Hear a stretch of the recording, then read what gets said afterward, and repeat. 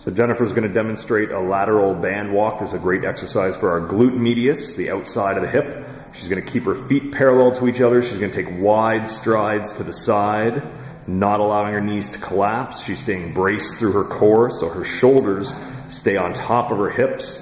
Let's do a bad kind of sloppy one. If I see a lot of side movement with the upper body, if her shoulders get way outside her hips, we don't want that. So now we'll go back to doing them well. We're going to stabilize stride from the hips and we'll come back the other way. So we'll usually do 8, 10, 12 repetitions, whatever we have to do in each direction. Feet stay parallel to each other, core gets braced. Great exercise for the outside of the hips.